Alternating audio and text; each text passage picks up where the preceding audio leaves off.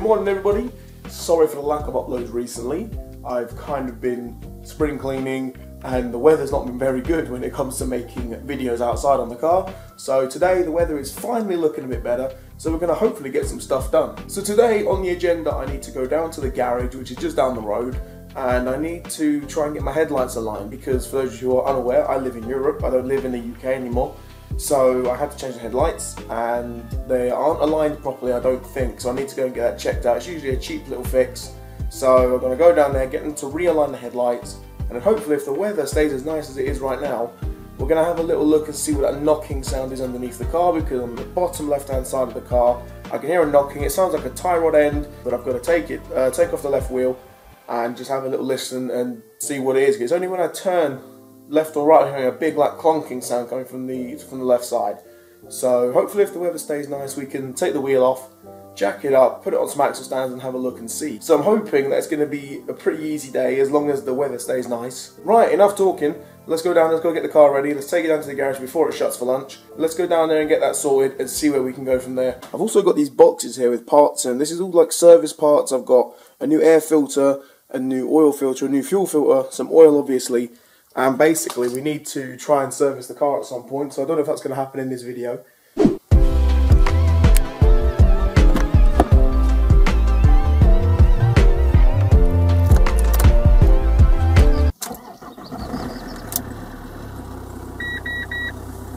Yep, that is also another problem I need to get fixed. Don't worry, it will come very, very soon. Okay, so I've just arrived in town. I thought I'd drop my mum off at the bank as well. She's going to do her own thing in town at the moment.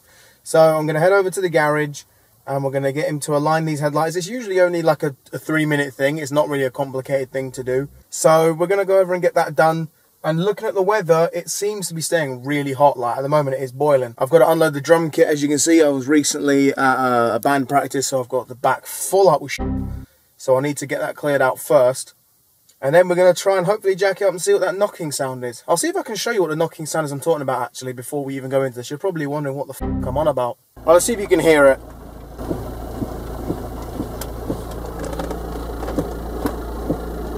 I'm not sure if you can hear that.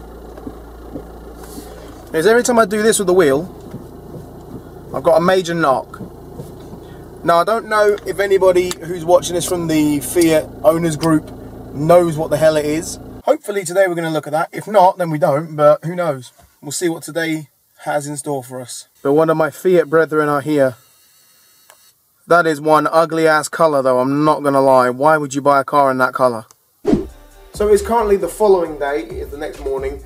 I am obviously at home at the moment chilling out because yesterday I went to the garage and they told me I need to go back on Thursday to get my lights sorted out. So that's not until tomorrow, which is a fucking nightmare. So for now, I'm just chilling out. I've been playing some Xbox with some friends. It is currently Wednesday, so it's a day in between, so I'm hopefully going to get some stuff sorted out today. I don't know. It all depends on whether I can be bothered. Because as you can currently see outside, it is looking very, very bright. It's nice and sunny. But the driveway's still a bit muddy along here, so I can't exactly work here. So I'm going to have to take it up to the hangar if I do anything, but there she is over there. So what I really need to do is empty it out first. I need to empty out the car with all my drum kit and things like that and move it up here so I've got less weight in the car. And then I suppose I need to get that front wheel off and have a listen to that knocking because it's getting on my nerves. So I'm going to finish off my morning coffee, then I'm going to head over and unload the drum kit from the car, and then hopefully we can take the car up to the hangar, get the front wheels off, get it up on axle stands, and have a much more detailed inspection of what the hell is going on underneath all of that. Right, that's it, coffee time's over. Time to actually make a start on this video because so far all I've recorded is not a lot. I wonder if you'll notice me. Hello, boy.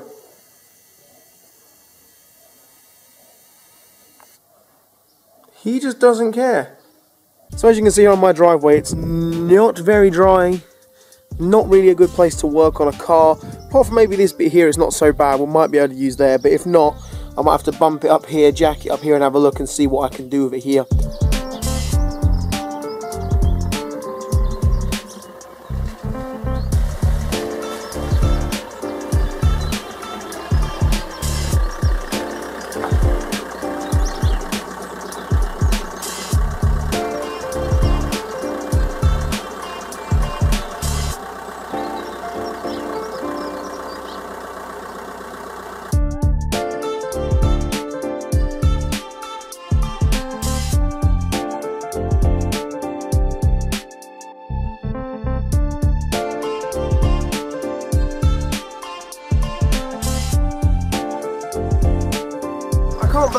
Can actually fit in this thing. You fit a whole drum kit in there without any kind of problem with just the seats down. Insane. For such a little car, it's got mad cargo space.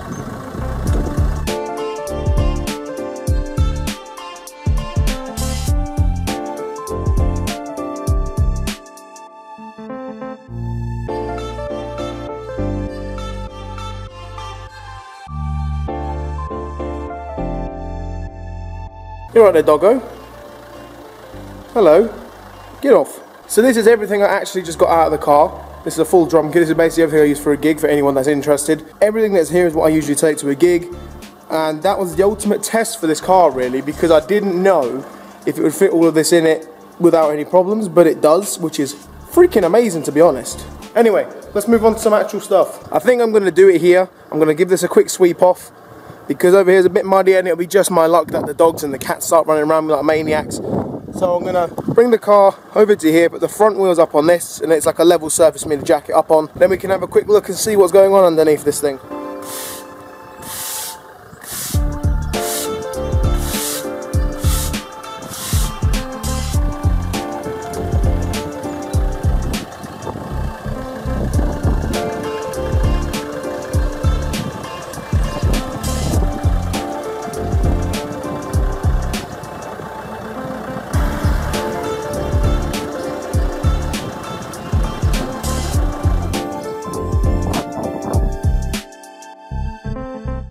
Working with.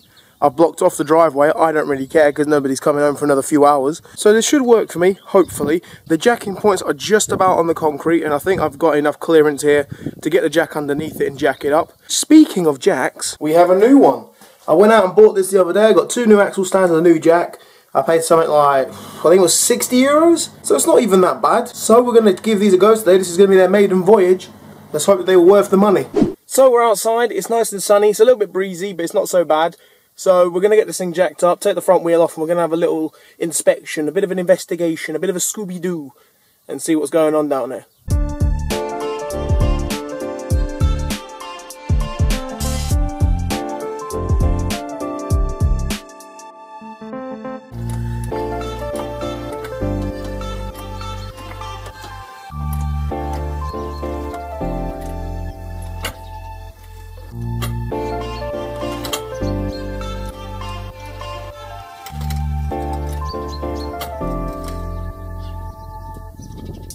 That is as high as I want to get that because I don't want to get that any higher just yet because I'm, cause I'm supposed to be putting it in there but it needs to go up so much more that I don't want the car to like slip off it or something.